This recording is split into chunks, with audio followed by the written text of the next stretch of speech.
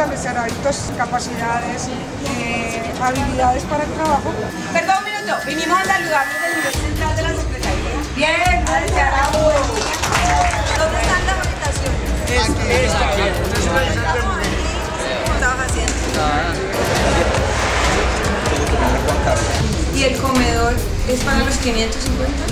Muy bien, felicitaciones, qué buena recuperación. Periódicamente hacemos recorridos por las localidades para visitar nuestras unidades operativas. Visitamos los jardines, los centros de acogida, los centros crecer, los de personas mayores, porque queremos prestar un servicio de altísima calidad. Y la única forma de verificarlo es conociendo nuestros servicios integrales.